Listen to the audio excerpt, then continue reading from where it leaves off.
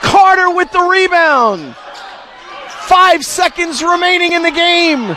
Carter with a deep three. And it's good!